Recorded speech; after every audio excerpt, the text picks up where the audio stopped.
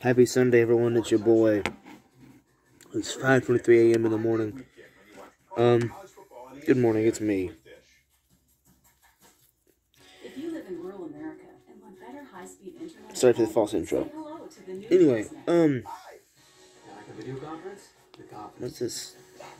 the new HughesNet is Jupiter powered Um, with unlimited data and faster speeds than ever before. Now I can stream up anything I can dream up.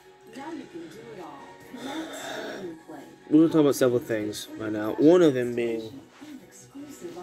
Sycho Sid, who apparently had cancer. You know, he died. That was crazy. That was sad, and that was a lot of people are definitely emotional about that. But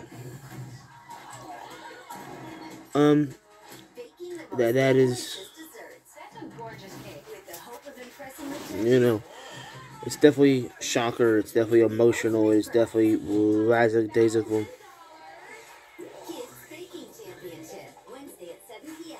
on Discovery Family. Discovery Family presents six reasons to watch the main six. Weekdays. uh, okay. My nephew is scared to death of my goat mask. Stylish? He told me not to turn towards him. So he said he didn't say he would cry, but but he did. He just said not to turn towards him. Weekdays starting at 2.30 on Discovery Family. Because I didn't think he was really scared of it. But he was. So yeah. The bloodhound was the first dog whose sniffing evidence was admissible in court. In fact, this nose is so powerful, it dragged the bloodhound 135 miles across the state of Kansas, Peace out. successfully tracking a Right after this one.